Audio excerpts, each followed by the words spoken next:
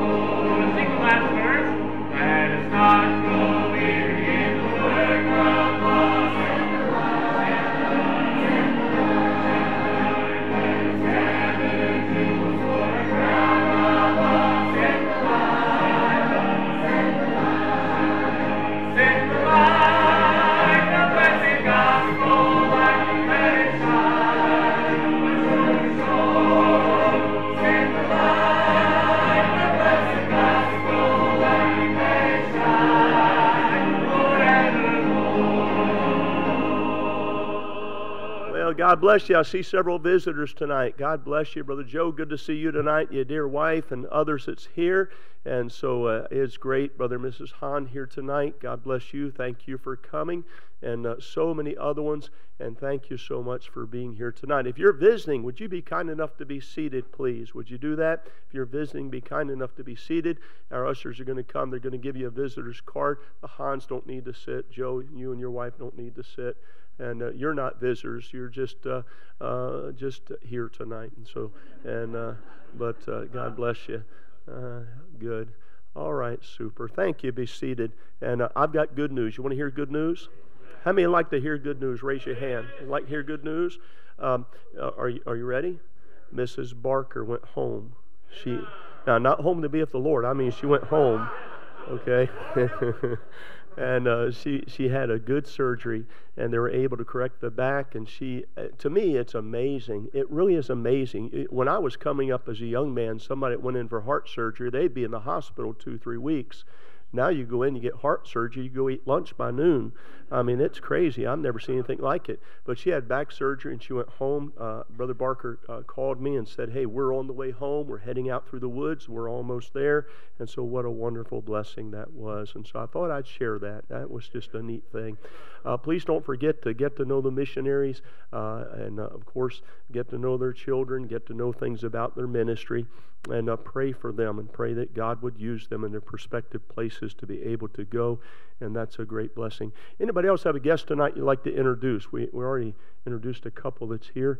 Anybody have a guest tonight? Would you stand if you have a guest tonight to introduce? All right. Well, thank you so much. Let's give these couples a big round of applause, would you please? Would you stand with me once again and turn to page number 451, 451? We'll stand and sing The Old Account Was Settled Long Ago, page 451. There was a time on earth, they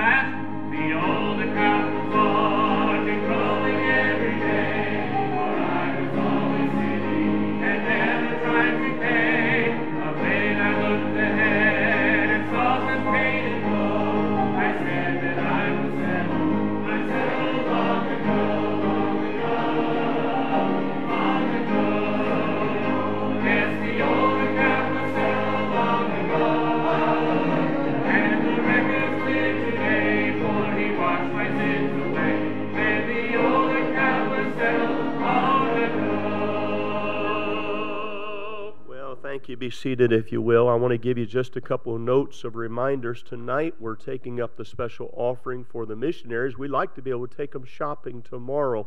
And so, if you could help out with that special offering tonight that we've talked about for several weeks, that would be a wonderful blessing uh, to be able to do that. And uh, we try to. Uh, I know I traveled for 12 years on the on the road as an evangelist, and it was always a delight when I'd pull up into a, a place for our family's sake where we did have opportunity to do special things with people as they came and uh, showed us different things to do in the area.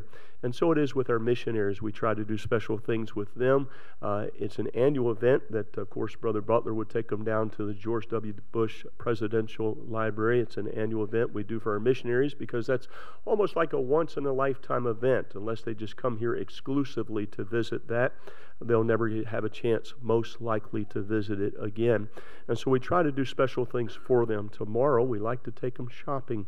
And so I'll be taking the men. My dear wife will be taking the ladies for a little bit of shopping. Us as men, uh, we'll take them out, do shopping, and boy, I tell you what, they'll just buy stuff just like that.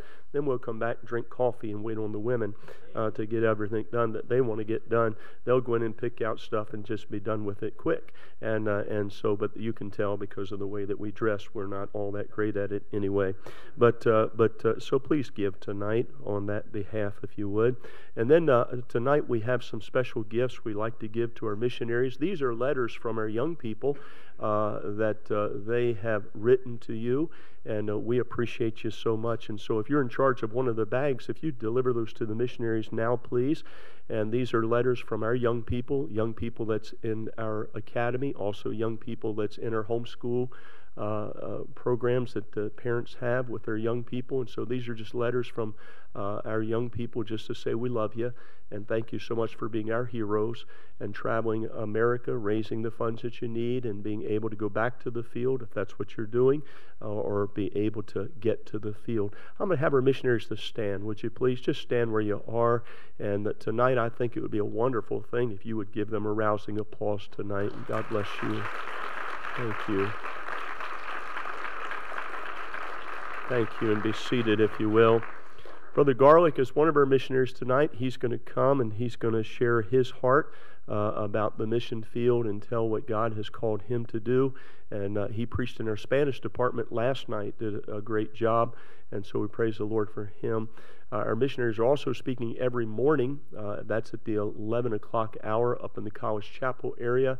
We would ask that you go by, of course, the, the college office right out here uh, no later than 10:55 to pick up your pass if you're going to come in. I do want to say this. Thank you for coming. Thursday night, good crowd for Thursday night. God bless you. And I realize many people. I've talked to many people in the hallway, and matter of fact, people coming into the choir said, "How was your day?"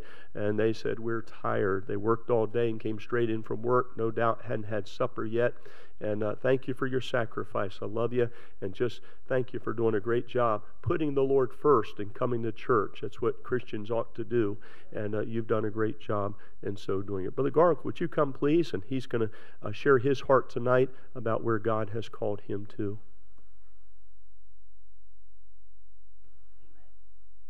Amen. Well, uh, uh, if I can, I, am going to ask her to play the video real quick, and I'll come up and, and kind of clarify that a little bit more as we go forward. Thank you. Somos la familia Garlick y es mi privilegio introducirles a nuestro ministerio. Yo soy un evangelista con el ministerio de la espada. En la espada, vuestra misión es la gran comisión. La gran comisión se puede resumir en tres puntos. I guess I'll go ahead and translate Primero, it llevar el evangelio a toda uh, criatura. Our mission is to take the, Segundo, is the Great Commission. enseñar a cada creyente a And the Great Commission can be summed up into three points. The first is to take the gospel to every creature. Second, to take the teachings of Christ to every saint. And third, to teach young men and women to go out and repeat the process. doctor Rolando Garlick, And that was the heart and soul of my grandfather, Dr. Roland. Garlick, when he started the ministry uh, 45 years ago. iglesias que ya existen, And so uh, our job was to go out into the churches that already exist and uh, to, to encourage them to get started fulfilling the Great Commission in their area. Now, uh, did you get it figured out, brother? Evangelio en su Jerusalén. Amen. Okay. El segundo paso es ayudar Oh, I guess I'll just keep going. Okay. asegurar que cada Uh, they turned off the audio. Okay. Well, uh, so first of all, what we do is we go out into the uh, in, into the churches and we, we help them get a systematic plan to go to every every creature in their area, and to take the gospel to everybody living in their, in their area. And secondly, we go and we help them and we provide them the discipleship materials to go and, and teach those new believers. you know, a, a church that is fulfilling the Great Commission right where they are is able to go out and start another church that's going to fulfill the Great Commission. If you're not fulfilling the Great Commission here, very unlikely you'll do it over there.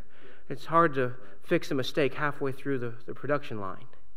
But uh, so I want to show you this is a harvest project, is what we're what our, is what the focus of the ministry of La Espada is right now.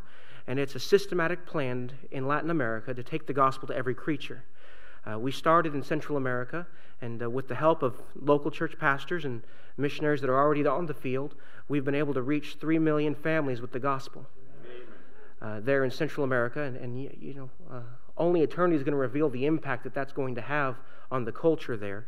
But we're already seeing a great harvest there. Uh, we always uh, we teach them to go out and give a clear presentation of the gospel, to take a, a gift to every home, a copy of the John and Romans, a portion of Scripture, and then we give the, the, the pastors the discipleship materials that they need uh, for, to follow up. And because it's not just go and reach them for Christ, but it's to teach them to observe all things. And so you can see, uh, just just the, just imagine the harvest that God is giving to us. And so uh, now, uh, this year, where God is opening the door for us to do that in Mexico now. Uh, in every one of our conferences, we always encourage every believer to be diligent to take the gospel to their relatives, their family, to those that they know, and then also to give them the follow up that they need. Uh, right there, you can see in that picture. Uh, we've had last year thousands of people who raised their hand saying that if you'll give me a copy of uh, the little track, the How to Be Saved track, and if you come, that my grandfather wrote, uh, I'll go to my family, I'll read it with them this week. Yeah. And uh, we've seen so many people get saved for the, and, or lead their first soul to Christ, just, just going through that little book and just letting the Bible do the talking for them. Uh, you can see here, uh, these are just some of the men and women, uh, some of the men that God's called to preach in past conferences that we've held with La Espada. And uh, uh, now they've gone out, started their own churches, they're coming back, and they've got young people who are wanting to get into the ministry, and so we're partnering with them to train them in four specific areas. Number one, their, uh, their walk with God. Number two, their personal character. Uh, number three, their, uh, their knowledge of the scriptures. And number four, uh, practical experience fulfilling the Great Commission there in their local church. Uh, you, there's thousands of men and women right now across Latin America that are being trained. Right now in Mexico, there is enough local churches, there's enough believers already that we could reach 10 million families with the gospel. But we need your help because, uh, quite honestly, uh, paper isn't free. But uh, we ask that you would continue to pray for us. We're in the work, but we need your help. Now, uh, this little video presentation here, quite honestly, uh, to, to, to try to encapsulate everything that our ministry does uh, is very, very difficult to do in just a short little video. And so uh, uh, our, our mission is the Great Commission. And our goal is to go out into the world and to, and to go out into Latin America. And, and, and by the end product is the world, Pastor. Because uh, some, of, some of these, uh, these, these Latin American countries, they can get into some, other, some of these countries that, that you and I could never get into with our American passports and they have access to get into to places and to reach, the, the, reach them with the gospel where we can't. And so uh, that's our goal. We're going out into the, and that, that, that was the heart of my grandfather and now my, my father. And, and uh, I'm so privileged for the heritage that I have with them. You know, it's, it's, it's an honor that God would, could use me. You know, and, and you know, if, if God required perfect servants, well, I don't think any of us qualify. But He requires obedient servants. And so uh, here I am in obedience, going out and doing the work, and I know that uh, every one of the missionaries here, they're doing the same thing. And I know that a lot of you young people here, God wants to use you in the same way. Uh, when I was called to preach, I was eight years old. I was reading in Timothy, and it said, Preach the word. Be in, in season, instant, in season, out of season, reprove, rebuke, exhort with all long suffering and doctrine. And I, I just said, Well, well, I guess that's it. I'm supposed to preach the word and uh, got to the next church, and the pastor, I was standing there with my dad. He said, Young man, I know what you want to be when you grow up. I said, You do? He said, Yes, sir, I do. He said, You're going to be a doctor, aren't you? I said, No, sir. How about a policeman? No, sir. A soldier? No. Well, what are you gonna what are you gonna do when you grow? He said, God's called me to preach. He said, Well, bless God. You're gonna preach for us tonight in our service. I'm a little kid of eight years old. My, my, my dad, he helped me so much that night. He helped me. He said, if you're going to preach, you, you, you probably should have something to preach about. I said, that sounds good, Dad. He said, so what do you, he said, if you're going to preach about something, it should probably be about the Bible. He said, yeah, that, that makes sense. He said, well, what do you know about the Bible? And I remember that we had just studied the book of Jonah. I said, I know the story of Jonah. And he said, well, when you're going to preach, you got to make sure you ha- leave something for them to hang their hat on. Got to have some points. Got to have some something for them to, to, to, to apply to their lives. So he helped me there that night, and I got up there, and I remember I was most scared that my dad was going to leave me up there by myself. That he was going to send me up there, and, and then him and Pastor were going to take off to go out and eat and get, leave me to finish the service by myself. I don't know why that was my fear, but that's what I was afraid of. So I said, Dad, you're not going to leave me, right? And he said, No, son, I'm not going to leave you. And I remember I got up there, I said the first point, first thing, you can't run from God because He's everywhere. You know, Jonah tried to run, but he couldn't. And I look back. My dad was still there. And I said the second point, you know, uh, it's dangerous to get in the boat with a Jonah. Be careful who you hang around with. You know, sometimes, you know, when God sends the storm after Jonah, you can get caught up in it. Yeah. Good. And I looked back and my dad was still there. I said the third point, you know, you don't have to be as stubborn as Jonah and stay in the belly of a big fish three days and three nights.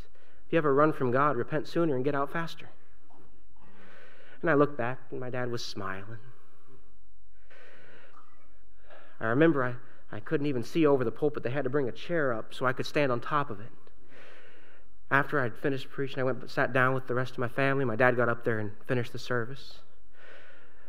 And then uh, after service, my dad pulled me aside. He said, Son, I want you to know that uh, the day that tonight I got to be here with you, and that was an honor for me. He said, But someday you're going to have to go and preach, and I'm not going to be there with you. Said, But I want you to remember that your heavenly Father will never leave you nor forsake you. And I can tell you that's been so true in my life. And now, uh, this past year, we found out that my dad has pancreatic cancer. And outside of a miracle, God's going to take him home in a little while, a lot sooner than we'd expected. And so, uh, but he said, Ben, uh, you know, I've been running the ministry all these years, but it looks like uh, God wants you to start taking over. So he said, I want you to. You, he said, you, you've already know how, what to do, how to do everything. You already know what to do.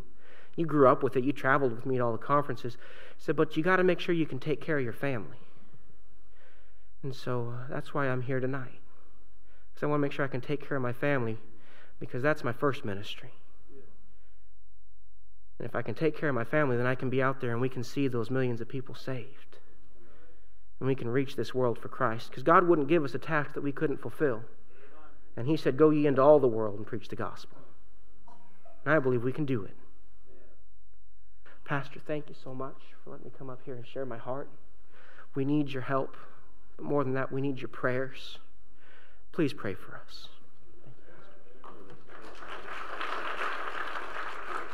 All right, let's bow in prayer for the Garlick family. Dear Heavenly Father, thank you for what a wonderful uh, testimony, Lord, to see generation after generation, Lord, doing the work uh, that you've called them to do, Lord. And thank you for allowing uh, Brother Garlick to follow in the footsteps of his uh, dad and his grandfather, but most of all, following in the steps of Jesus.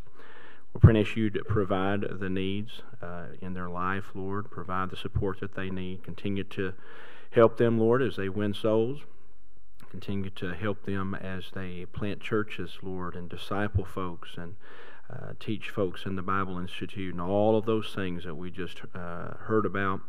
And I pray, Heavenly Father, continue, Lord, for many generations to come to keep the work going. And thank you, Lord, for allowing us the privilege to be able to have heard that and seen that. And I just pray and ask any Father your blessings upon him as well as his family and the ministry uh, there in Mexico. And then, Lord, just pray and ask any Father that you would uh, just uh, help a great harvest of souls be saved. Bless the remainder of the service, uh, especially with Brother Purtell, Lord, as he preaches here in just a short while. And I pray and you speak to our hearts about what you'd have us to do in the area of missions, whether it's to give or to go or both. Lord, I pray, Lord, that you would help us to be sensitive to your leading. In Christ's name we ask it. Amen. Let's stand one more time and turn to page number 96. We'll stand and sing Bring Them In. Page 96 on the first and the last verse. Team choir, you go ahead and fill the choir loft as we sing. just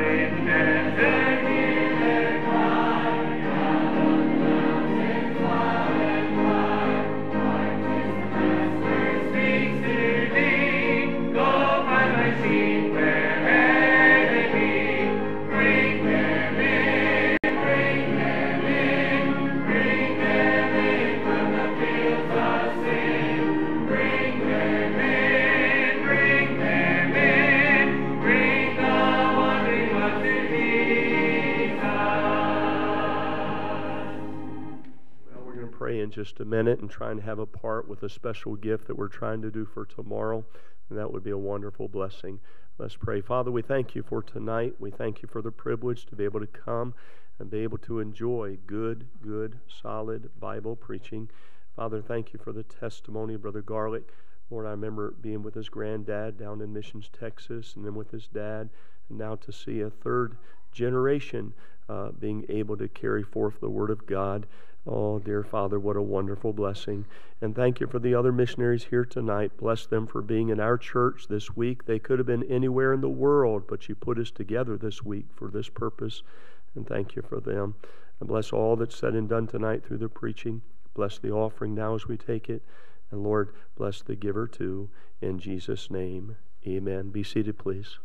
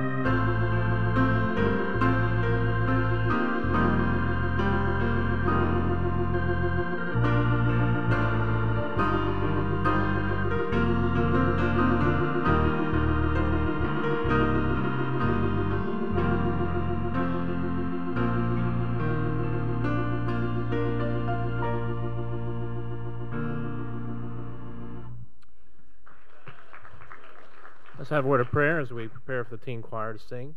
Our Heavenly Father, we thank you so much for how you worked in our hearts last night.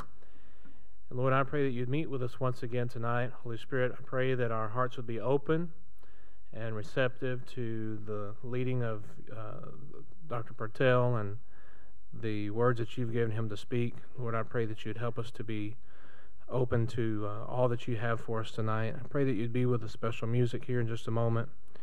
And Lord, we thank you so much for all that you've done. Please bless and meet with us tonight again, we pray. In Jesus' name, amen.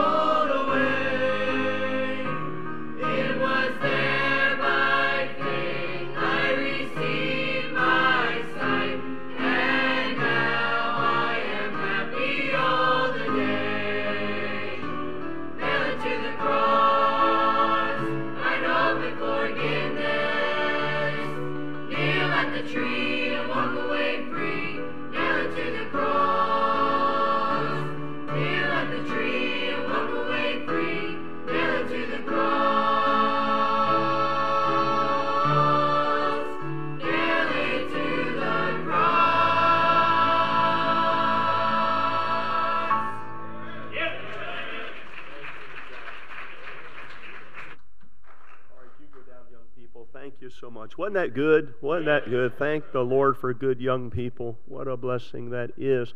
And these kids go out soul winning. They work on bus routes. I'm so proud of them. They just do a fantastic job. Parents, you're doing a good job. Keep it up. Just keep it up. You're doing a good job, and we're so proud of them. And David, boy, I tell you, David did good, lean singing. Uh, Brother Jonathan's in Napa, California with Mike Ray this week and, and, uh, and helping out there with that conference. And David got up here and he led those young people just like a professional would do. And I appreciate that. Uh, just a super. Well, it's a good to have Brother Purtell. I've known Brother Purtell. We're trying to figure out how long we've known each other, but uh, we've known each other so long we've forgotten how long we've known each other. But uh, I would say, I would dare say, we've known the Purtells for at least 30 years, at least. Uh, you know, and so, but uh, what a blessing it is. And of course, God's worked in his life in a marvelous way. It's one thing for a, a man to get out and do, it's another thing for a man to get out and do when God is all in it and has his hand upon him. And that's what I can say about Jerry Purtell. I mean, ever since I've known him, he's walked with the Lord. Ever since I've known him and his dear wife, they've been instrumental in helping people, loving people, pointing people to Christ, helping people to come know Christ as their Savior in every age bracket. But he goes, as he said last night, to places where um, very few people go. He goes to the fairs, he goes to the carnivals, uh, he does the backyard Bible clubs. Uh, he does the what we call the blitz teams that goes off, and for several weeks they go on a bus and they just do Bible club after Bible club after Bible club every day progressively uh, for a week, and then they'll go someplace else and uh, and they'll do that. Vacation Bible schools last year uh, was uh, in 363 different activities, being able to give out the gospel, and that's the type of people I want to be able to come and challenge us. Uh, somebody, somebody said your walk talks and your talk talks, but your walk talks louder than your talk talks. And I believe that. I like somebody that's going to get up and walk the talk. 13,464 people heard the gospel last year.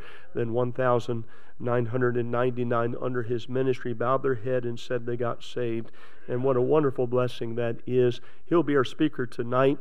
Uh, tomorrow night we'll have Brother Marco uh, Teresa, which is uh, uh, uh, a protege, I guess I could say, of his ministry, and he can tell. Can you tell a little bit about that tonight, just before you preach? And he'll tell you a little bit about Brother Marco.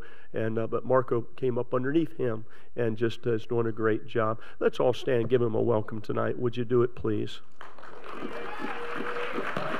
Hey, thank you for coming tonight. Thank you for coming. Appreciate you coming. Y'all can sit down. Well, give Jesus a hand, all right? Give Jesus a hand. Uh, you know, uh, I look back over the years, you know, and uh, I, I want to be in the ministry. That's my goal to be in the ministry 40 years, and then uh, that passed me up. And I mean, I said, well, where'd that go? In 45 years, and you, you just don't know and it's it's over. But one of the incredible blessings, I, I really want, I want to be a PR man for you doing the will of God in your life. I really do. Now, it's a faith promise thing, okay? I know it's a faith promise thing, but I tell you, my heart, uh, what I, you know, I just can't help it. I get in front of young people, and every time I see young people, I said, oh my goodness, that's the, oh my goodness. I said, oh, if they only knew what God had for their life. Uh, I love being a design engineer. I used to create stuff. I love to do that. I love to come up with stuff.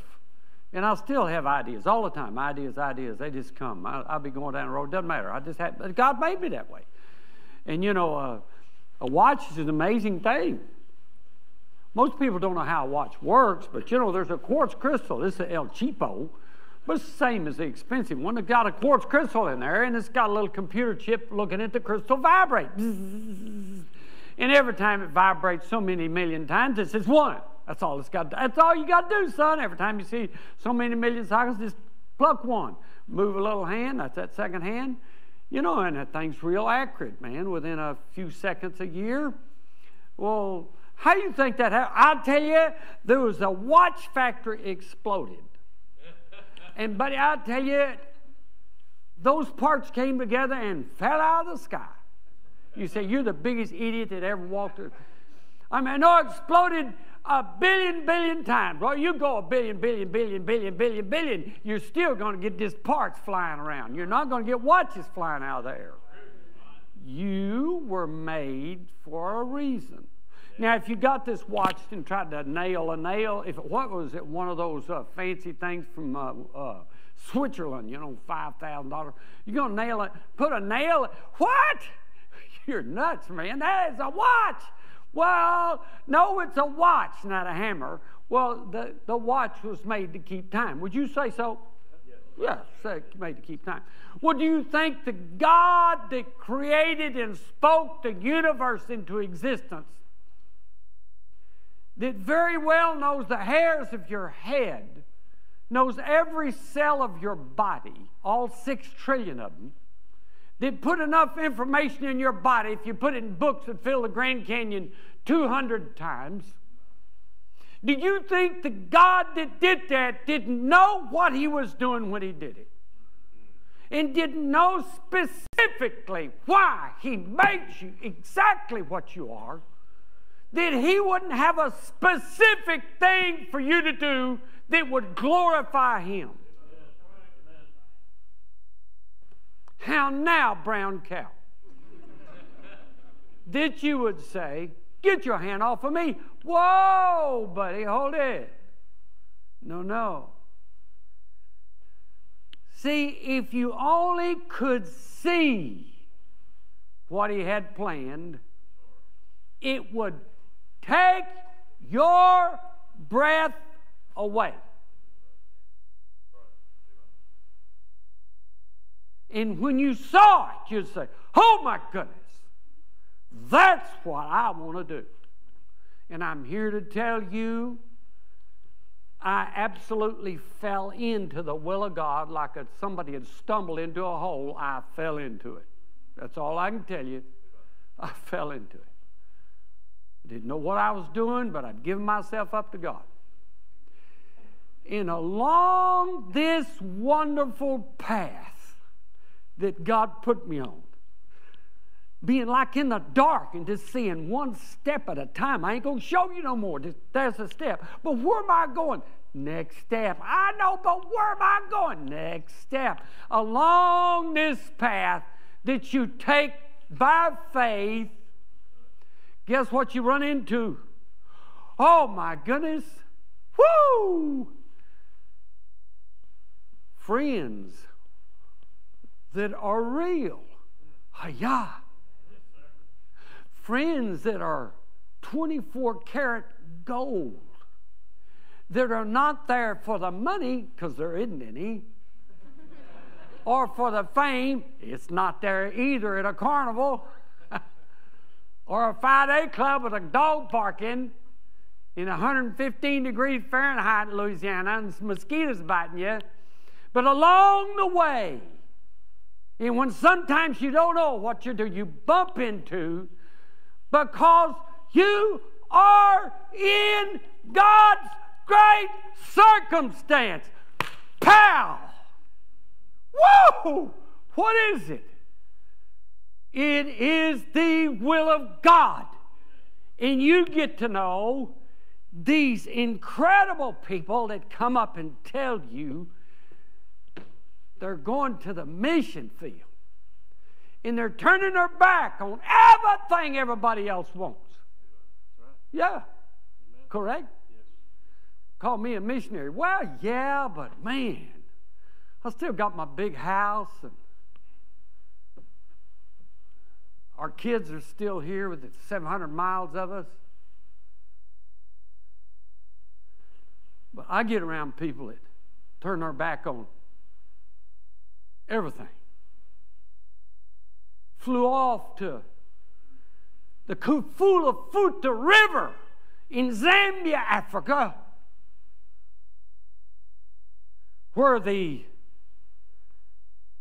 cerebral palsy, cerebral malaria is right there in that, that river. And I get to be at this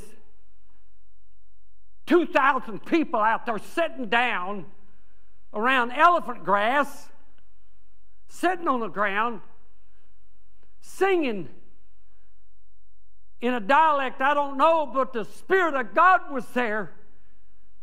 And I'm telling you, it was like you was in heaven. And these people didn't have anything but God. And all of a sudden, while I'm there, wondering how in the world did I get here? This is the one that Brother Ray sent me on by myself. Got off in the middle of a, a Bush airport thinking, what if the dude ain't here that's supposed to pick me up? How'd I get in this thing? And I'm with, uh, who am I with, Vicki? What's the, the, the, the man was a, a, a, baseball star. And anyway, he, he's a, huh? Bobby Bonner. Bobby Bonner.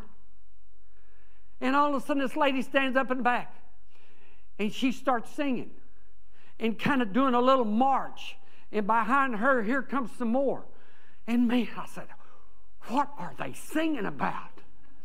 He said, They are singing a testimony of me leaving America and all the wonderful things America's got in coming to this place in Zambia, Africa, where the mosquitoes are and the hippopotamus is a big thing to kill you. And they got the black mambas and they got the, the, the, the puff adders that'll spit at you in your eyes and blind you and then kill you. And here I met this man, and then these people singing about him. And he's had malaria 17 times. One more time, he's dead. And I'm thinking, what am I doing here? I mean, this guy's, this guy's, this is, who, who, the world doesn't even know these people. And the scripture says, of whom the world is not worthy. Woo! I get to be with these people. And I have these guys, Brother Garlick's grandson, get up here. Third generation. Oh, what's that worth? Oh, oh. Man, I don't need to be here. Now, whew, so glad I did. I am so glad I did it. Ooh. Could have missed it. I could have missed it. Most miss it. Most miss it. Most never make it. I watched them. I watched that little old girl. I said, man, that little old kid, you could drop that kid in a, a jungle with a knife. She'd make it. It just took the wrong person in her life. She didn't make it. Good.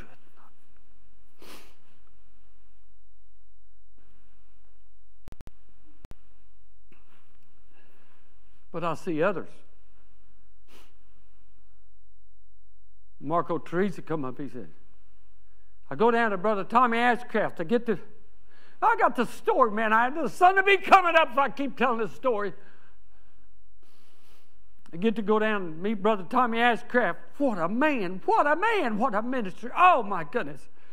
And I get to go down there and preach those, those college students, and we go out and do five day clubs and teach them how to do backyard Bible clubs in Monterrey, Mexico. And I go for year after year after year. And Brother Marco Teresa comes up and he said, uh, Brother Jerry,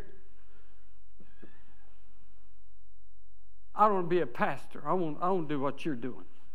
And of course, the criminal mind that I got,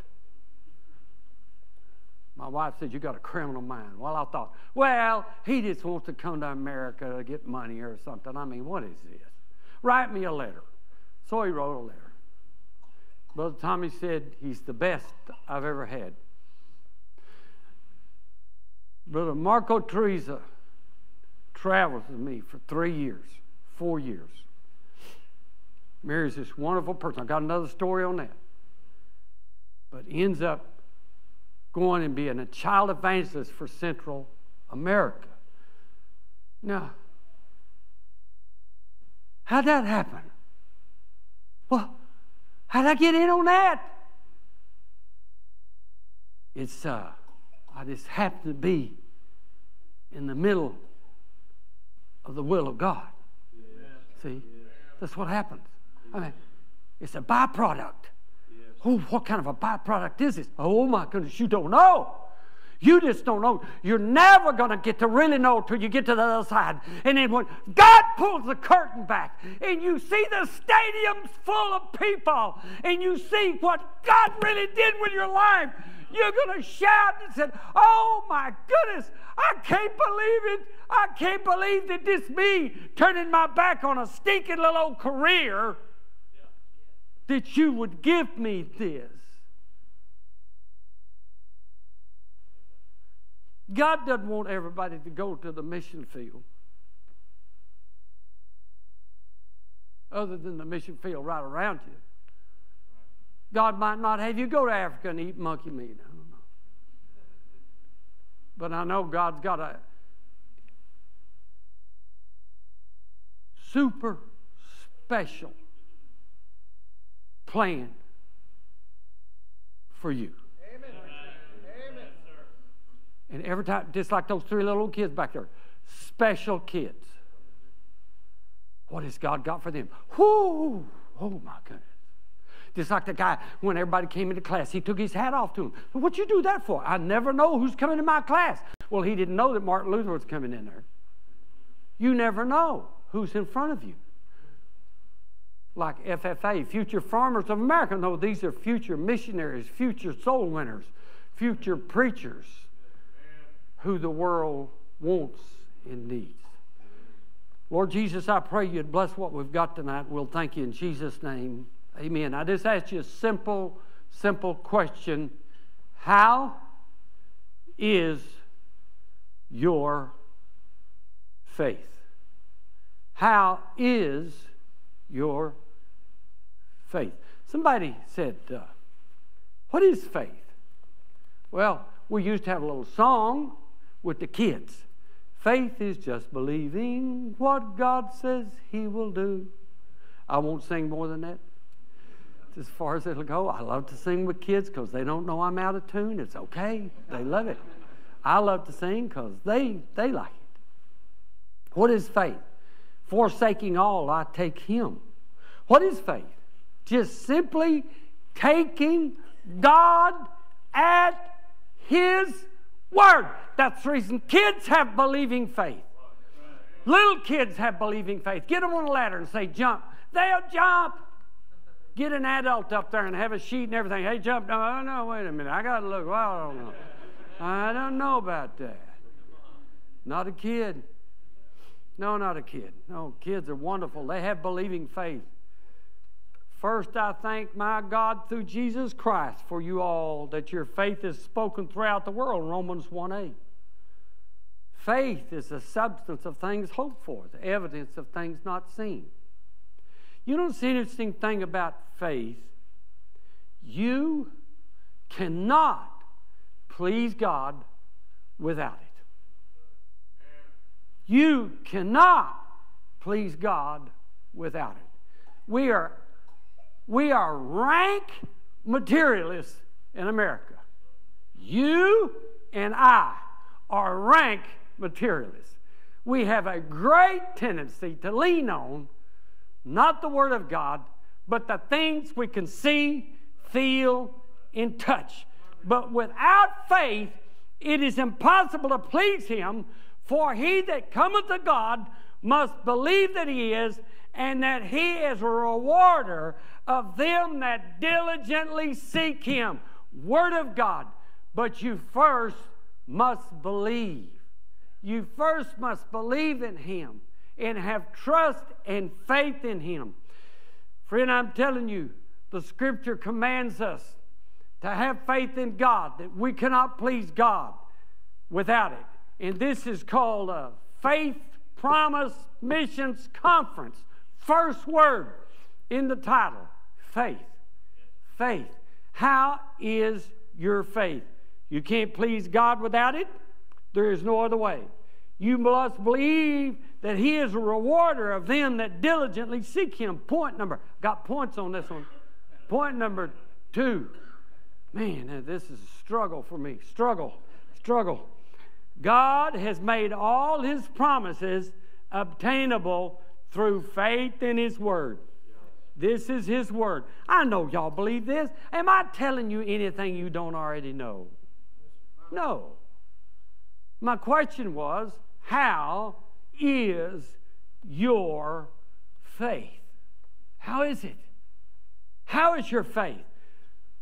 God made promises. For all the promises of God are in Him, yea, and in Him, amen, to the glory of God. Did you know, and all of us believe in this room, I don't have to reiterate this, that our salvation is by faith, for by faith are you saved, for by faith are you saved through grace, that not honor yourselves a gift of God. For by grace you saved through faith, and not of yourselves, it is a gift of God. Romans, Acts, Romans, Ephesians 2, 8 and 9. Acts 16, 31, believe on the name of the, believe on the Lord Jesus Christ, and thou shalt be saved. We all believe that. That we're saved by what? Faith. Faith in His Word. Our righteousness is by faith. Is it not? Isn't that good? Huh? Isn't that good? Aren't you glad that your righteousness and my righteousness is filthy, dirty rags compared to God? But our righteousness, for what saith the scripture? Abraham believed God, and was counted to him for righteousness. Galatians 3 6. Even as Abraham believed God, was counted to him for righteousness. And the scripture is fulfilled, which saith, Abraham believed God, and was imputed to him for righteousness. And he was called a friend of God. 2 Corinthians 5 21, I read it to you last night. For he hath made him to be sin for us who knew, who knew no sin, that you and I, we might be made the righteousness of God in him by faith. Hallelujah. Is that good or not? Yes. How is your faith? I am justified before God because of my faith. Therefore, in Romans 5 1, being justified by faith, we have peace with God through our Lord Jesus Christ. If I were to ask you tonight, do you know you're saved? How would you what would you say? Well, of course I know I'm saved. How do you know? Because the scripture says it. So you're putting your trust in this book that you're saved. Yes. So you're trusting eternity on what you're saying. You're trusting eternity on what you're saying. Yes or no? Hey, man, that's serious stuff. I mean, we're talking about the lake of fire and the bottomless pit forever and ever and ever and ever. I mean, don't even think about that. I can't. It hurts my mind to even think about it. I can't, I can't put my arms around eternity without Christ. I can't do it. I can't put my mind around it. So we're literally hanging on the Word of God right over the lake of fire. You're hanging on it. Don't let go. Hanging on it. How is your faith? Your righteousness is by faith. Your justification, that means just as if I'd never sinned, is by faith. Everything we got and stand on this book is by faith. Question How is your faith? Hebrews 11 7 By faith, Noah, being warned of God of things not seen as yet, moved with fear, prepared an ark for the saving of his house, by the which he condemned the world and became heir of the righteousness, whoo, which is by faith. Noah built that ark by faith because he believed God was going to destroy the world. How is your faith tonight? This is Faith Promise Missions. We got missionaries coming up here saying, man, we're, we're stepping out by faith. We're going to trust God to meet our needs. How is your faith? You know, interestingly enough, now, you're justified, you're saved. Do you know the scripture commands that you now live by faith?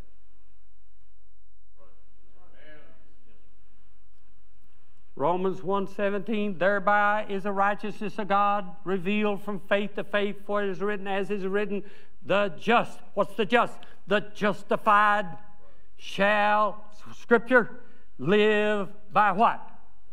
Not sight faith. Man alive.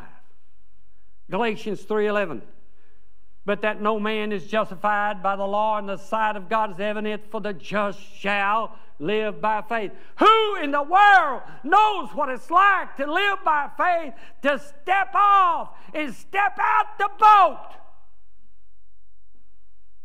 You got to step out of the boat, friend. Yes, oh, now, wait a minute. No, no, no. Uh uh-uh. uh No, no.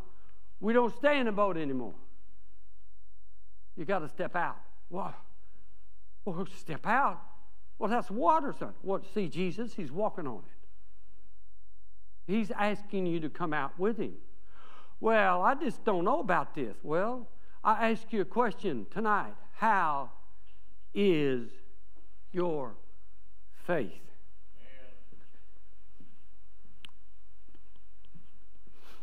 When I knelt down and God said, I want you to be a kids preacher.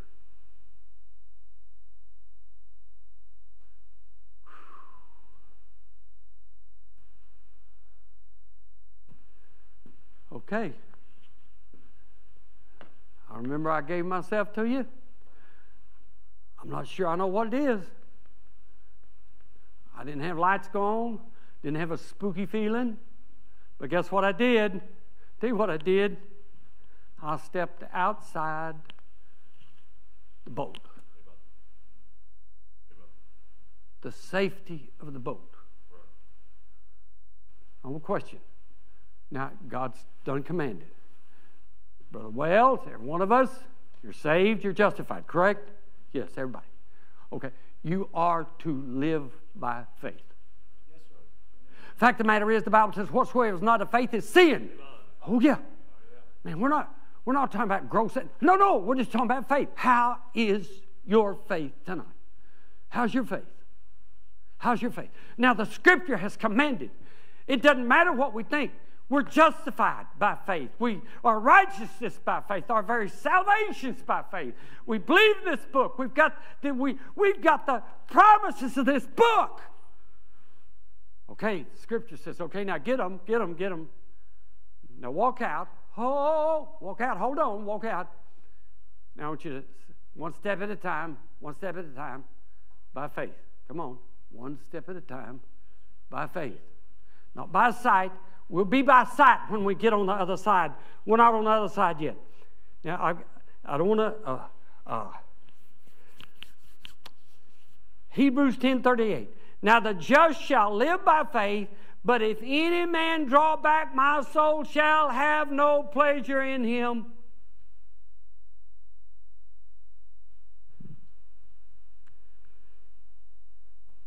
All right, this is another point. Somehow I got to E. Okay?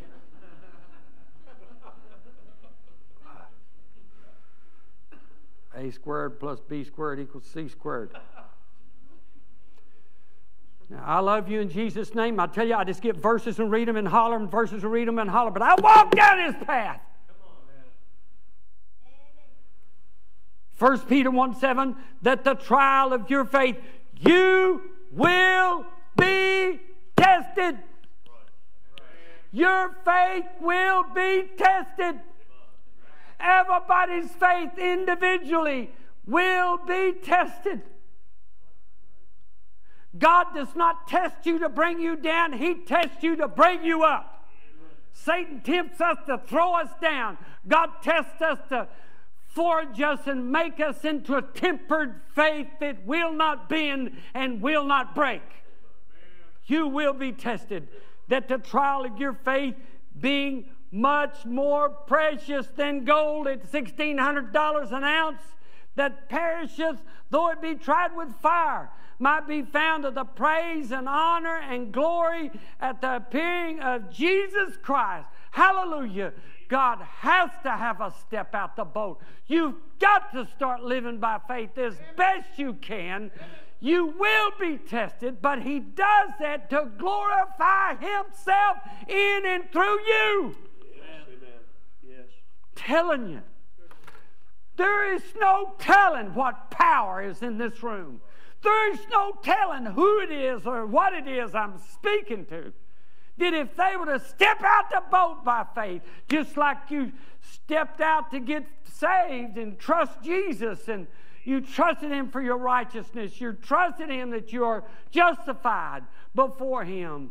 And now He commands you through the Scriptures, simple as it is, that you cannot please God otherwise. You remember the old boy that got all the goods? Got to have a drink here. Do you put anything in this? Okay. This water? Okay. Remember the old boy, the scripture that pulled down his barns? Remember that? You know, when you read that, would you get the idea? Maybe he did something God wasn't quite pleased with. Would you say that?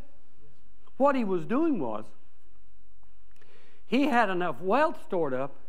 He said, Take it easy, buddy. Everything's going to be all right for years to come. Now, God doesn't like that. God doesn't like that. Why? He wants you to be trusting in Him, in Him alone. To have goods and money and stuff, it's not talking about that. It's when you start resting on these things. That no matter what happens, it's not Him, it's my contingency. That those things are going to take care of me. Friend, I'm telling you now, you read the scriptures, you'll get, get the mind of God. He's going to test your faith and mind. He's got to. You've got to step out and learn how to walk by faith in this life and do the will of God. There's examples all through the scripture, and of course, uh, Abraham is our father of faith. And the scripture says, He that knoweth to do good and doeth it not, him it is sin, James 4 17. That the trial of your faith, you know, God asked Abraham, what did he first ask him to do in Genesis 12 1? He said, uh, the, Now the Lord said to Abram, Abraham, Get thee out of thy country and from thy kindred, from thy father's house into a land that I'll show thee. Is anybody in here ever heard of Brother Kevin Wynn? Heard Brother Kevin Wynn? He's a wonderful missionary, Brother Kevin Wynn. Have you ever heard his story, how he got saved and you know, I'm, I'm talking with him when, when I was down in Mexico State. I don't remember. I'm talking with him. Maybe it's at a mission conference somewhere. And Brother Kevin said, You know, it's, a, it's an awful thing when I had to walk away from my daddy and I had to say goodbye to my dad because I knew when I went to Mexico I couldn't come back and probably my dad was going to die and I wasn't going to be there when he died.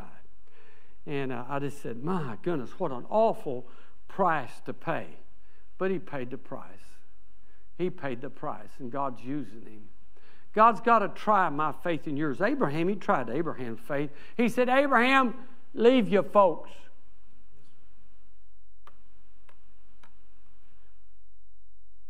This is a sprint moment. Drop a pin. But I don't want my kids to leave me. Oh, whoa, whoa, whoa, whoa, whoa. Your kids don't belong to you.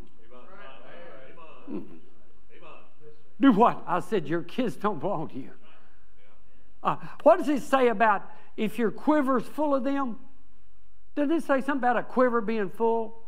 You know, that's your children. Well, what's in a quiver? What, what, what are those things in a quiver?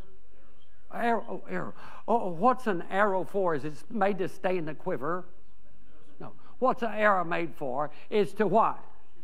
At the enemy, correct? So when you shoot the arrow, whoa! See you later. Sorry about that. Your children do not belong to you, they're loaned to you by God. They're arrows. Shoot them. Let God shoot them. They're smart bombs for God. I'm telling you, God said, Abraham, leave. And what did the father of our faith do? He turned his back in the Ur of the Chaldees and left them. Where was he going? Ask, hey, we need a microphone. Abraham, Abraham. Abraham, Abraham, come over. Abraham. Hey, Abraham, where are you going? Tell him. You got me. God said, Go, I'm going. Did he not say that? Did he know where he was going? If you had asked me, Hey, Purtell, man, you live where in the world are you going? Got me, buddy. I'm, i just, hey, I'm right here. I got to take this next step. Are you sure you know where you're going? No, man, it's foggy, man. I cannot see ahead. I don't have fog lamps. Where are you going? He just keeps telling me I keep taking this step one step at a time. Now, you take one step at a time, one step at a time. 45 years later, you're going to look back and you're going to say, oh my goodness. Ah. Oh, yeah. Abraham left now, what's God going to do? God is fixing to bless the planet with this man. because he did what? He stepped out by faith and turned his back on what everybody wants to be around. And friend, I am telling you, I love my kids as much as anybody, and I, I've never got to be close to my kids. I've never got to be close to my mom and dad. They're, they're, now they're gone to heaven. They were always 700 miles away, no matter where I was. And you know, I, I wanted to be somewhere else. And Lisa and him's always saying, uh, Daddy, when you going to uh, uh, quit and come be my? I said, God's not letting me quit yet. I don't know, man. I, I love to be my kids and grandkids and all that stuff, but it just hadn't happened for me. It just hadn't happened. And all I can tell you, I'm trying to walk by faith. I'm trying to do the will of God. What else am I going to do? And it's a wonderful journey, but you are going to be tried, friend. And God's going to ask you to do something, and you're going to have to step out the boat. And everybody else goes, say, What are you doing? It's because we're surrounded by materialists. We are ourselves. That's all we, you and I know. It's the way we're raised. Hey, I, I'm not against anybody in this room. I'm one of you.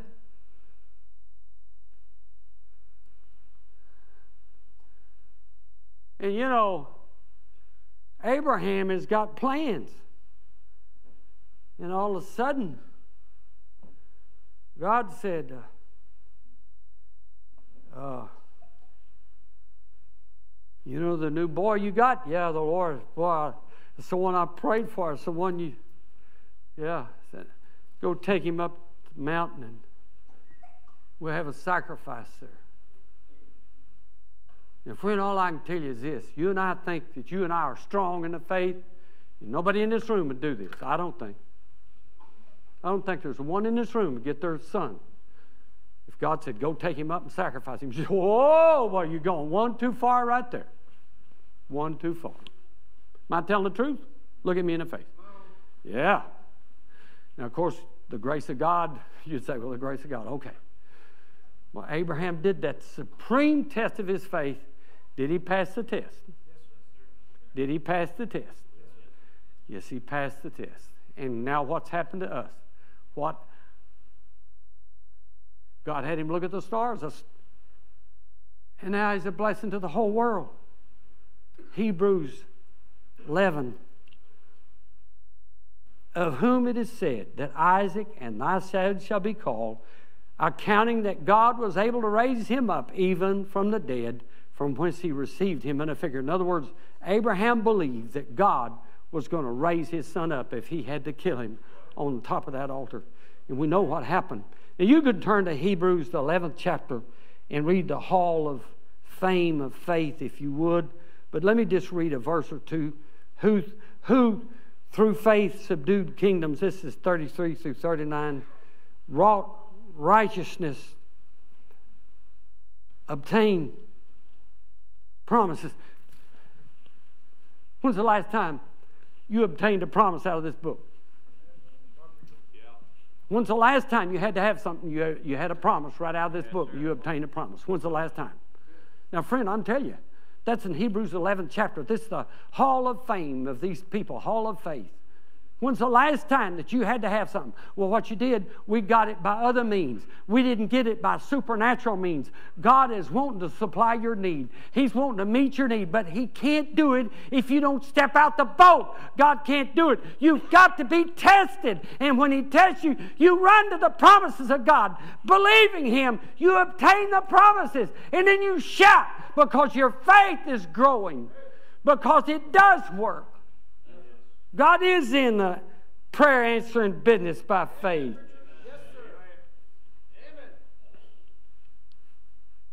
Obtain promises, stop the mouths of lions, quench the violence of fire, escape the edge of the sword.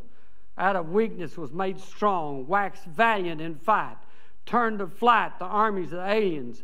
Women received their dead, raised to life again. Others were tortured, not accepting deliverance that they might obtain a better resurrection.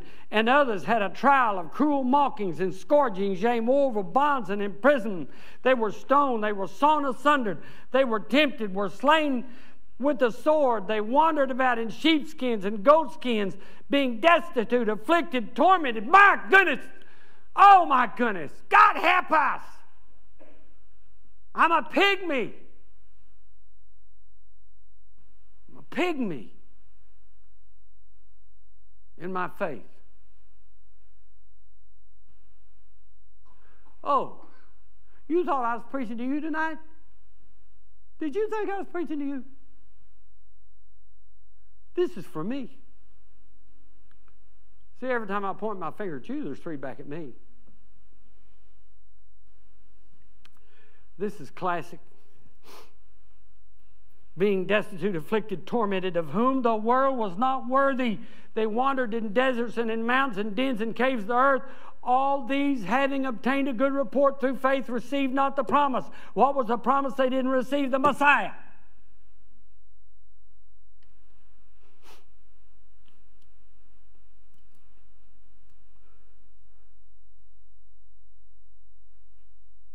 My neighbors thought I was crazy. I walked around the block. Well, I like to walk and pray, but lately I haven't been. I walk around the block just like this. I'd be talking, Lord, you know that show? You let me go to the fairs and festivals. Man, my my Bible stories are not working anymore. Those little films I've been showing. I mean, I'm talking like this. I'm sure they're thinking, the guy's crazy. There he goes. Look at him talking to himself. God, you got to do something, man. My ministry's dying, going to the fairs and festivals. What can I get to get these kids interested in what am I doing? I did this. Two years I did this. Walked around the block, walked around the block, walked around. I talked to God. You got to help me, Lord. Man, I'm telling you, Lord, just give me something. I don't know what to do. I'll go to Walmart. Vicki said, Go to Walmart. I see some, I need something at Walmart. I'll walk into Walmart. I'm walking by all those TVs. You know, there's 100 TVs there, and they're all got something on. They had Jurassic Park on. I've never seen it or heard it. Never heard. And all of a sudden, all these dinosaurs come up and say, Whoa! Look at that. Whoa, you talk about. I need a movie on dinosaurs. But what does a dinosaur have to do with salvation? A lot. God made them. Yeah, that's it. Man, I call over, I call Bob Jones University, I call everybody. Man, is that, anybody make a show on dinosaurs? Nobody made a show on dinosaurs. No such thing. Dinosaurs and man live together? Yeah.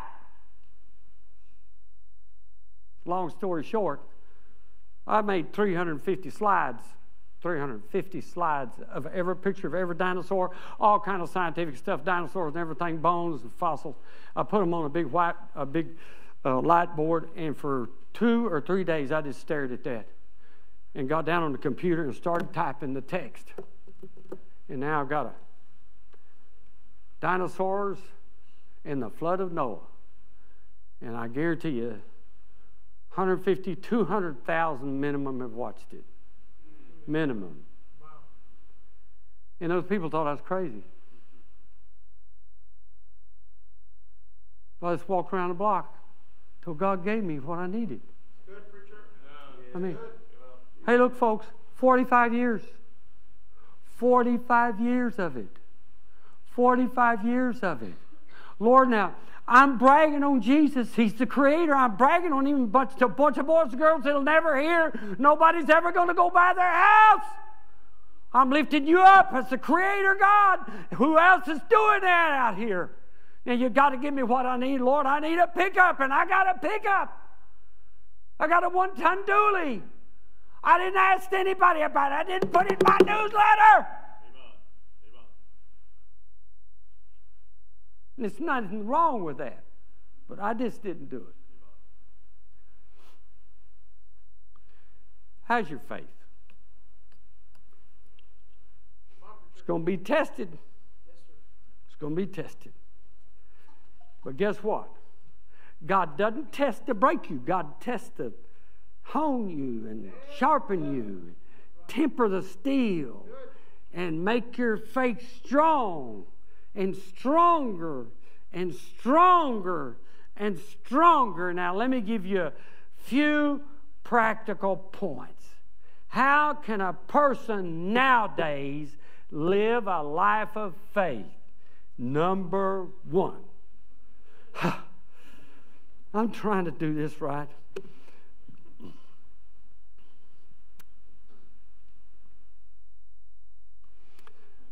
Number one, what truth in God's Word do you have for your own? Okay. In other words, What are the truths in this book you know and you believe right now? Well, you're saved. Okay, we got those. What about the truth of tithing? Do you know that one? Have you got that down? Do you believe it? You said, I really believe it. Okay, now what you need to do is step out the boat. How do you step out the boat? Do it. Just do it. You said, Do you do it? Absolutely. Do I do it? Oh boy, do I do it. Yes. Step out the boat. Why? Well, I, I can't afford it. Oh, no, no, no. That's okay. That's okay. God knows that. Now, this is like faith promise given. I mean, but He told us how much to give 10%. Okay. Well, my goodness. Uh, okay, I'm going to do it. Okay, that's it. Now, how to, how to live by faith today. What is it you know that you ought to do? Do you know that one? You said, I don't know that one yet. Okay, you need to get in the scripture and find out. Is it true? You said it's true. Did God say it? Yes, He said it. All right, the same verses you're using to say, I know I'm saved, I know I'm saved for sure, and the devil comes against you and he's throwing these darts, bam, bam, bam, bam. Can't get me now. I believe that. Okay, well, now we've got some more truth for you some more truths God's giving you light here that you ought to give 10%. Well, yeah, it's true. It looks like it's in there. Okay, let's do it. By God's grace, by faith, we're going to do it by faith. We're going to step out by faith and do it. Church doesn't need it. No, it's not the church. It's God wants to glorify Himself in you that you do live by faith. Now, wait. What time is it? oh, my. Are y'all now? I'm an independent Baptist. Okay. Do y'all know? Are y'all independent Baptists? Independent Baptist. Now I, I, use the King James Bible. Y'all use the King James Bible. Can we do that? Right. Okay. Now, being an independent Baptist, use the King James Bible. Uh, everybody seems to dress pretty good and everything. That's good. Does that mean uh, that you're right with God? No. Okay. Uh, when you go to a grocery store, can they tell that that's who you're? Well, they can look at you and tell you're, you're different. But you see, the only way I know to judge you is how you live. I am justified before God by my faith. I'm justified before my fellow man by my actions. There is no other way. Okay. This is Faith Promise Missions Conference. You know these men have needs. And you know that we're to live by faith. And you know God's interested in missions. So, now you know that according to Scripture, God wants to reach the world, and it takes money to reach the world. One and one equal two. The problem is we need people to go. Well, we got some going. Well, now, what's the next step? We need something to send them with. Okay? Well, could, could God tell you what He wants you to give? Would that be possible? Especially if you were willing to obey by faith to do what He says. Would you be willing if he told you? No. Oh, now, wait a minute. We live by faith, okay? Is God going to ever ask you to do something you cannot do? No. And besides that, guess who's going to give it to you to begin with? Guess who gives you the money you got? Hello. Where do you get your money? I earn it. How come you get to earn it? Who gave you the mind to do it? Who gave you the health and the body to do it? Who gave you the who gave you the job to begin with? It all comes from Him. Okay, so what we do, find the truth in the Word of God that you know, and by God's grace, start living it. And it's a sin for you to worry about it. The Bible says in Romans 14 23, and he that doubteth is damned if he eat, because he eateth not of faith. Whatsoever is not of faith is sin. And the scripture says, casting all your care on him, for he careth for you. God wants to bless you and use you beyond your imagination, but you've got to step outside the boat. Number three.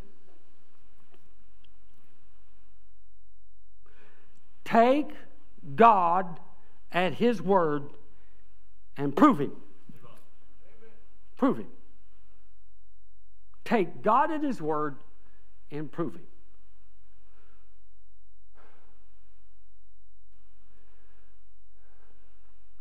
Now, after walking with the Lord and these 45 years being in the ministry, seeing everything but the wind, seeing everything but the wind, is my faith stronger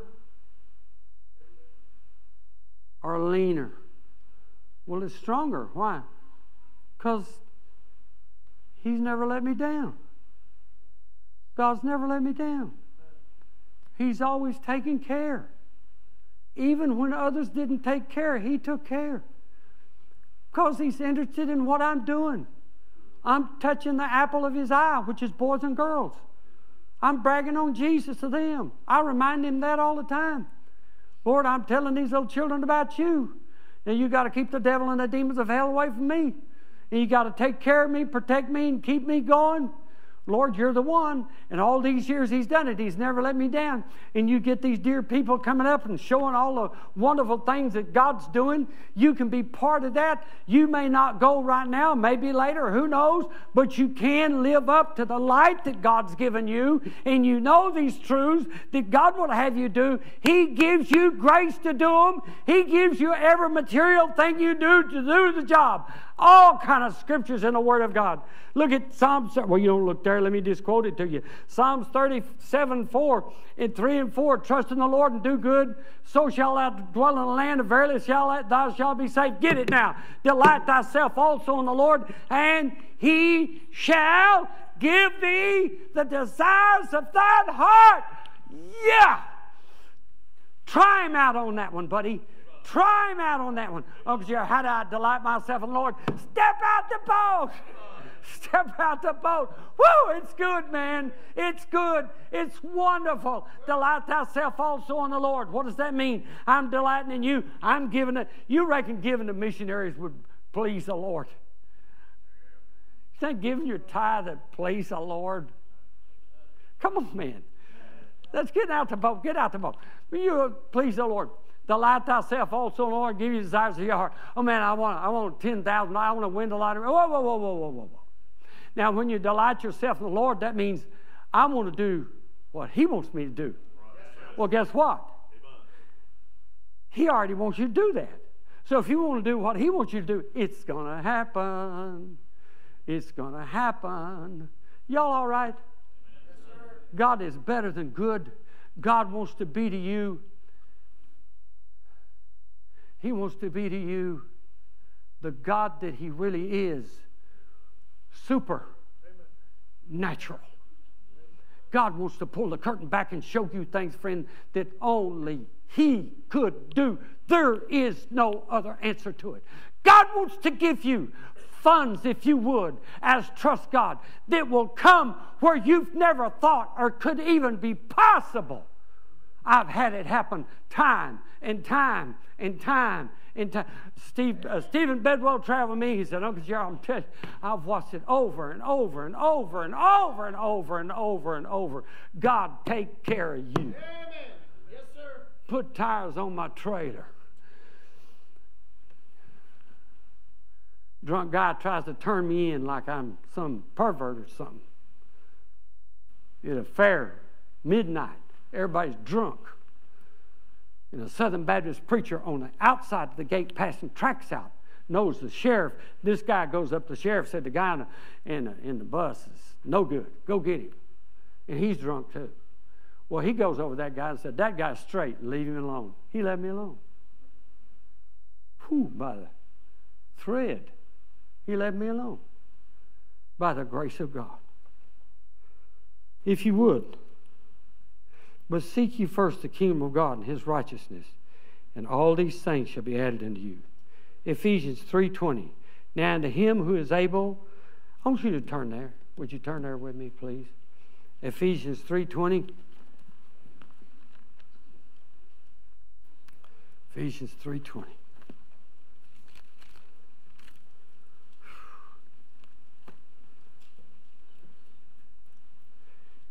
Now unto him who is able to do exceedingly abundantly above all that we can ask or think, according to the power that worketh in him, and to, uh, working in us, and to him be glory in the church by Jesus Christ through ages to come. Let's pray.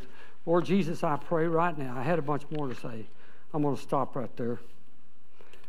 Now, Lord Jesus, I just pray that you would just do a work tonight, do a work in all our hearts. And I pray not one person will leave here not right with you. And as we got our heads bowed and eyes closed, I just want to ask you a question. Do you know for sure, for certain, that you're on your way to heaven? You said, Brother Jerry, I know I'm on my way to heaven.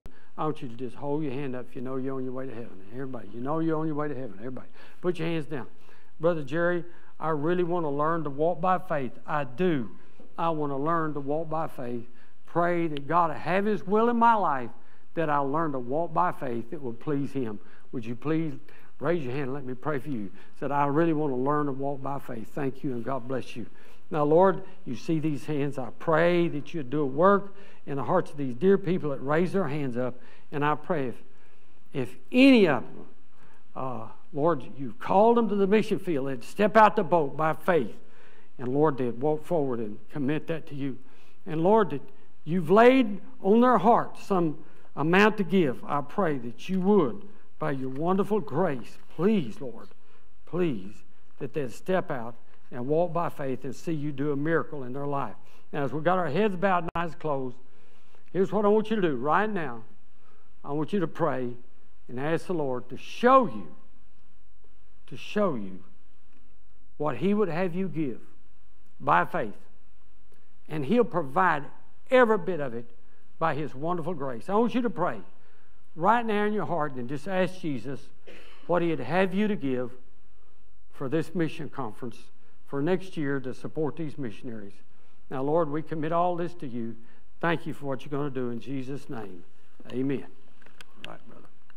Let's all stand, please, if you would, with heads bowed and eyes closed.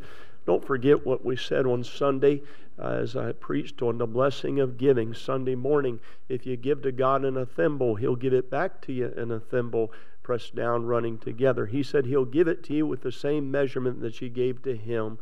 If you give it to him in a cup, he'll give it back to you in a cup. It'll be pressed down, running over. Shall men give unto your bosom? The same way it is uh, in uh, given to him in a oh just a, a bucket or a five gallon drum or whatever the case may be. God is right and God is always true and God will always be just with the way He returns to you. And so let's be careful to consider what God would have us to give during this faith promise giving conference. Father, bless, I pray, our invitation time now. I beg you, please help us to begin to get clarity about what you'd have us to give boys and girls and teenagers and men and women all over the world in need of the gospel. Help us to partner with you as also we partner with the missionaries to make sure that the gospel gets given out around the world. And Lord, we thank you for it in Jesus' name. Amen. As they begin to play, maybe you need to step out and come and say, Father, give me clarity. Give me clarity. I need a little bit more clarity about what you'd have me to give. Maybe that's you. Maybe you need to come and get on your knees and pray and say, Dear Father, please help me. I want to please you. I want to obey you. I'm just not sure about what you'd have me to do. Be honest before the Lord and tell the Lord that. The Lord will give you clarity.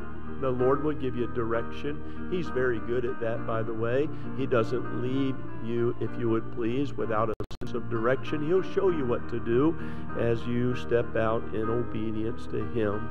Allow God to show you. Would you do that? Would you do that? Would you do that? You say, well, what if He shows me to do something that I'm not uh, positive that I can do? Oh, I can do all things through Christ, which strengtheneth me.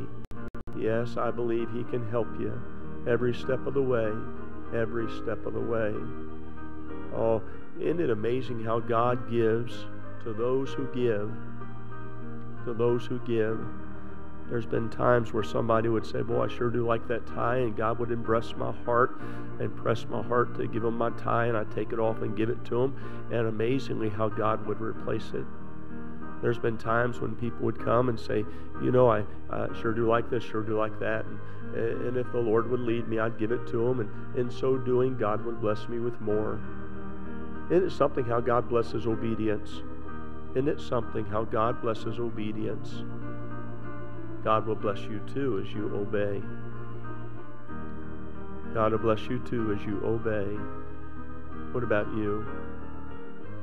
What about you?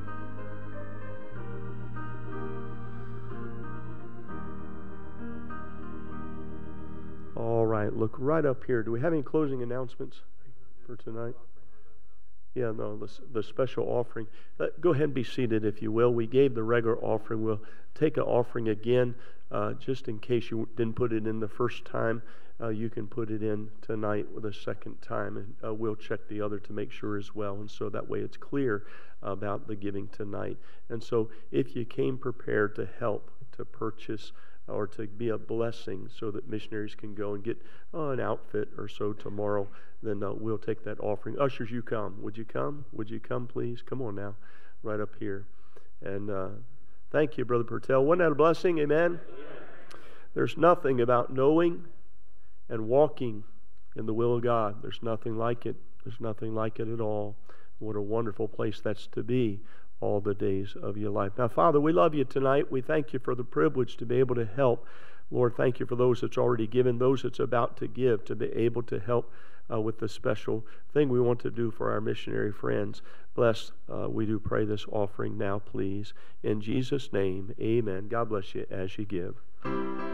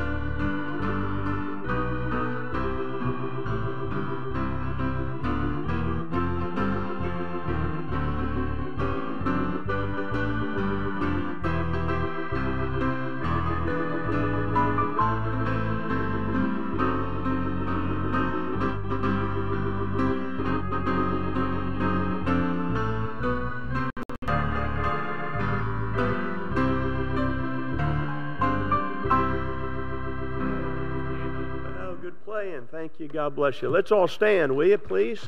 And uh, thank you. You, you, you. About five or six of you clapped for them. That was good. That was good. Amen. That's good. Hey, don't forget the missionaries. Now we're asking you not to hold them down too long because we're going to feed them tonight. And, uh, and so we eat over in the gym. So, in about 10 minutes, missionaries, if you don't mind, kind of just kindly say to the person that's up to you, Oh, I'm sorry, I got to go now and they'll they'll understand. We have good, caring people. They understand that we've got to get some food in your belly tonight, and so that's good. Well, it's been good. Now, don't forget tomorrow night, Marco Teresa is going to be preaching. You'll enjoy Brother Marco, and uh, and so he'll be preaching tomorrow night. Uh, I asked him to come with me. I do pastors' conferences in the Philippines, and I asked him to meet me over there. So he flew from Mexico over the Philippines as we conduct different uh, pastors' conferences in different countries around the world. We did one there and he was there.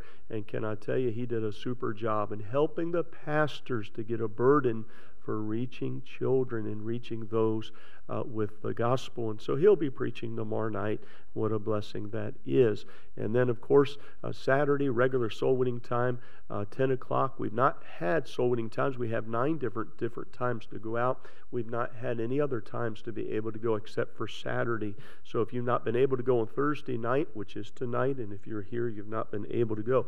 And so please come out Saturday morning at 10 o'clock. Would you do that, please? Come out Saturday morning, at 10 o'clock. So I'm not used to that. Well, come out and go go out for a half hour. Going out for a half hour is better than not going out at all. Uh, and so come and go for an hour, or come go for two hours. Come and go for the whole day. Stay out till midnight. I don't care. Just come. Just come and be a part of it on Saturday. And that would be a, a very good blessing for you. Keep you in the routine. Somebody needs to hear about Jesus, and so you come and be a part of that. And then Sunday morning, our missionaries will be teaching in various Sunday school classes. That's our adult Sunday school classes, and so you be sure to be there on time. And then, of course, Brother Marco preaches Sunday morning, Brother Purtell Sunday night to close it out. Father, bless, we pray. Thank you for tonight. And Lord, as we get ready to sing our way out, I pray that you'll give us a, a good night. Some of us travel a long distance to be able to come to church. And Lord, bless those that live way out in the country or those deep in the uh, heart of Dallas. Uh, protect them as they go their way or in other cities. And then, Father, bring us back, uh, Father, tomorrow night or tomorrow morning for the preaching service upstairs at 11. Bless, I do pray. And in Jesus' name, amen. Let's sing our way out. God bless you. We're going to sing the song Living by Faith. It's page number 34. We'll sing the verse and the chorus, page 34 in your psalm book.